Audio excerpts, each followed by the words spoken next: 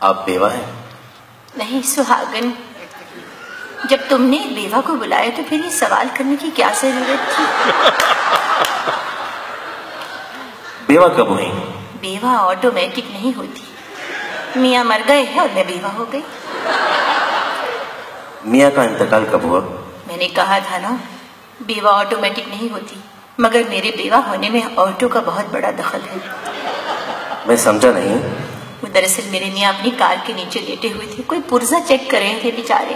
میں ساتھ میں کھڑی تھی گاڑی کے نیچے سے کہنے لگے میرے میاں حمیدہ ذرا چیک جیک اوپر کر دینا۔ میں نے غلطی سے جیک نیچے کر دیا۔ بس پھر ایک آواز آئی زادی۔ زادی؟ میاں کے پچکنے کی وجہ سے پہلا لفظ پوری طرح ادا نہیں ہو سکا۔ تو ان کا زور صرف زادی پر ہی چلا۔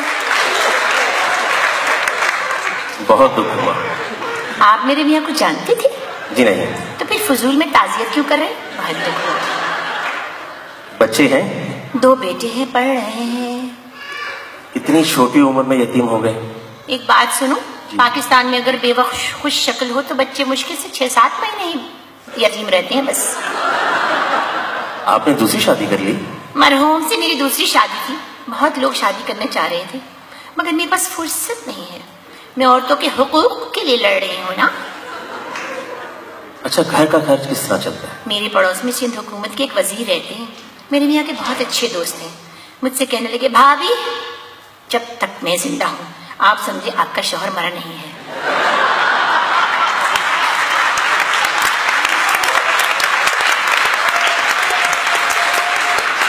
یہ تو انہوں نے بہت بری بات کی ان کو تو یہ کہنا چاہیے تھا کہ آپ کا بھائی زندہ ہے آپ کو کوئی پریشانی نہیں ہوگی۔ دیکھیے میرا کوئی بھائی نہیں تو پھر وہ کیسے کہہ سکتے تھے؟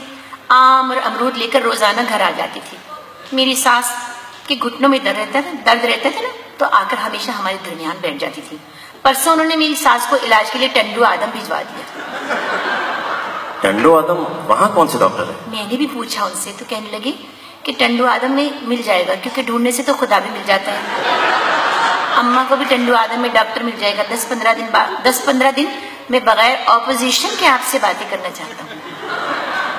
کیا وہ آپ سے شادی کرنا چاہتے ہیں؟ مجھے تو نہیں معلوم۔ ویسے میں ان کو بتا چکی ہوں کہ میں مہاجر ہوں۔ اور آپ سندھی ہیں۔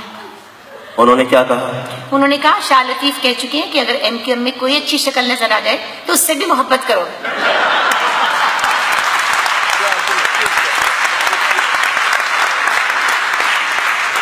شاہ عبد الطیف بھٹائی کے زمانے میں ایکم کہاں سے آ گئی؟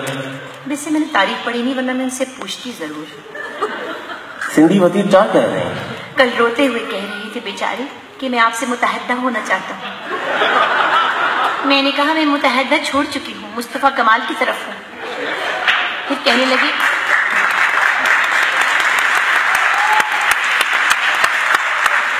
پھر کہنے لگی کہ زبیر بلوچ کی قسم آپ مجھے بہت اچھی لگتی ہیں میں نے کہا سائیں اسی وقت چلے جائیں یہاں سے۔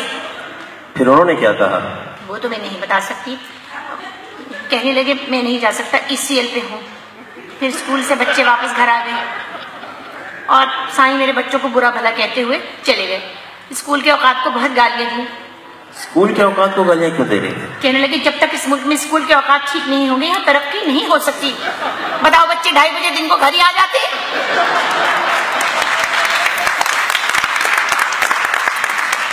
آپ سائیں سے شادی کرنا چاہتے ہیں؟ نہیں۔ کیوں؟ وہ شادیاں کر کر کے تھک چکے ہیں۔ آپ کی شادی ہو چکی۔ جی ہاں۔ ایک۔ جی ہاں۔ توبہ کرے توبہ۔ ایک تو صرف اللہ کی ذات ہے۔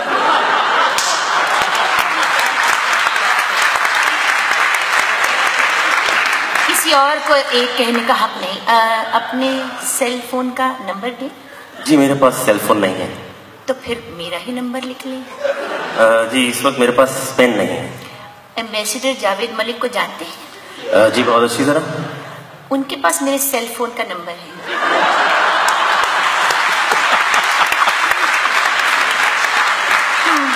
وہ تو بہت شریف انسان پاکستان میں جتنے شریف ہیں نا ان سب کے پاس میرا فون نمبر ہے۔ تمہارے پاس تو سیل فون ہی نہیں ہے۔ جی نہیں ایک بات سن لو۔ جھوٹ جو لوگ بیوہ سے جھوٹ بولتے ہیں نا وہ بخشے نہیں جاتے ہیں۔ آپ جا سکتی ہیں۔ جا رہی ہوں مگر تم بخشے نہیں جاؤ گے۔ چلو یہاں سے فضول کہیں۔ کے